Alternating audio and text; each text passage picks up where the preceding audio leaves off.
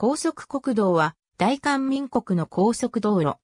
自動車のみが通行可能な道路であり、高速国道法に定められた道路のことを指す。2011年現在、路線網の総延長は約 4000km で、路線数は31である。韓国道路公社によれば、2020年までに総延長を 6160km まで拡大させる計画であるとしている。ローアオギリチ JCT 付近の案内標識。左からソウル、金浦空港、4倍ドローアオギリチ JCT ソウル、外角循環高速道路カヤ韓国国際展示場、4エロー青ギリチ JCT 板橋京葉詳細は、各路線の項目を参照。2001年8月24日以前の開通路線は、旧路線名称の表記による。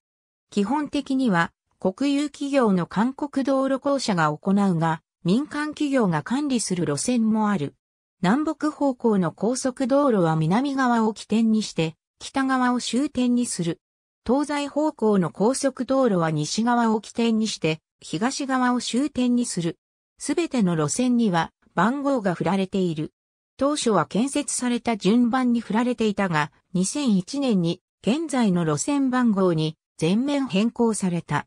その裁判法はアメリカ合衆国の週間高速道路のものによく似ている。路線名や番号は大統領令による。大統領令にはあるが、まだ開通されない路線は赤色で表記した。2004年2月19日から改正市交通行料金計算法対距離制の場合、基本料金走行距離キロメートルあたりの走行料金車線別指数級番号は1999年8月31日改正時点の路線番号二輪車については緊急自動車のみが通行可能であり、その他の二輪車は通行できない。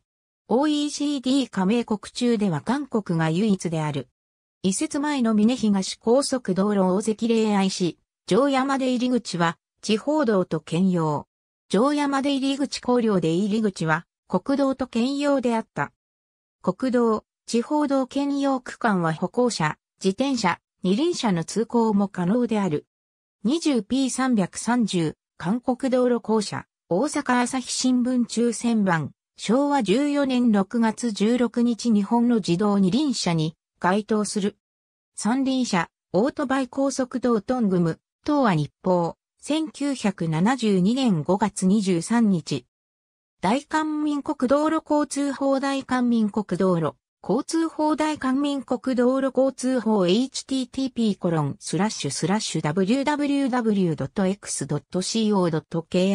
スラッシュ jsp スラッシュ cms データ。Html 20兆508億3020万3406 JSP ありがとうございます。